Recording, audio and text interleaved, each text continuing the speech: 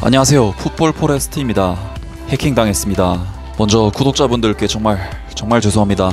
일단 사건의 시작은 10월 28일 목요일 저녁 8시 제가 평소에도 자주 사용하는 사이트죠. 소파스코어에서 광고 집행을 하고 싶다고 앞에 14초 정도짜리 프로모션 비디오를 삽입하고 싶다는 그런 식의 광고 요청이 오더라고요. 사실 제 채널 G메일을 통해서 한 번씩 광고 건이 들어오긴 하지만 저는 광고를 좀 잘할 자신이 없어서 거의 대부분 광고를 거르는 스타일인데 소파스코어는 워낙에 잘 아는 사이트라 의심 한 푼 없이 광고를 하겠다고 나섰습니다. 그런데 이 새끼들이 소파스코어가 아니라 그냥 사기꾼이었던 것이죠. 동영상을 받았는데 보통 AVI 파일, MP4 파일 이런 형식들이 흔하잖아요. 근데 SCR 파일이라고 좀 생소한 파일을 보내더라고요. 저는 좀 뭐지 싶긴 했지만 멍청하게도 그 파일을 재생시켰고 제 채널은 이상한 시바견 그림프사와 함께 제 채널 주제와는 전혀 상관없는 비트코인 방송을 하게 됩니다.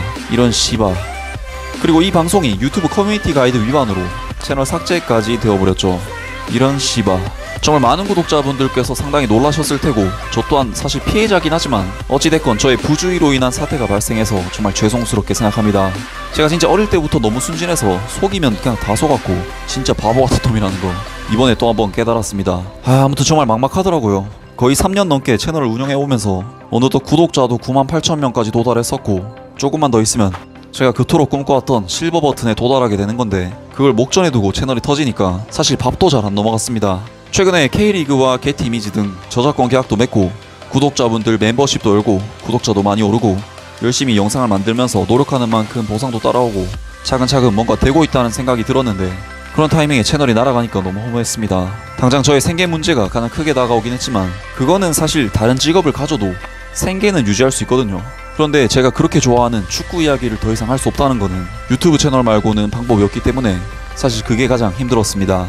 전 어릴 때부터 축구 이야기 하는 걸 참 좋아했어요. 학교 다닐 때 축구를 좋아하는 친구가 있으면 그런 친구들이랑 일부러 친해지기도 했고 축구 이야기를 할 때면 정말 시간 가는 줄도 몰랐죠. 그리고 그 연장선을 만들어준 게 저의 유튜브 채널이었고 유튜브 채널을 통해 다양한 많은 축구 이야기들을 할 수 있었습니다. 제 채널을 구독해주신 분들, 저의 축구 이야기를 들어주신 모든 분들께 정말 감사드립니다.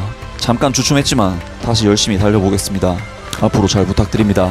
마지막으로 계정이 정지당하고 제가 구글이랑 유튜브 측에 연락할 방법이 없었어요. 근데 저랑 꽁병지 TV 같이 하는 유튜버 충나인님이라고 그분께서 흔쾌히 유튜브 계정을 빌려주셔서 구글과 유튜브 측에 원활하게 연락을 취할 수가 있었고 문제를 해결할 수가 있었습니다. 충나인님께 정말 진심으로 감사드립니다. 그리고 저의 채널 해킹 사실을 커뮤니티 게시를 통해 알려주신 사커러리님께도 진짜 깊은 감사의 말씀을 드리면서 영상을 마치도록 하겠습니다. 제 채널을 구독해주신 모든 분들께 진심으로 정말 진심으로 감사드립니다.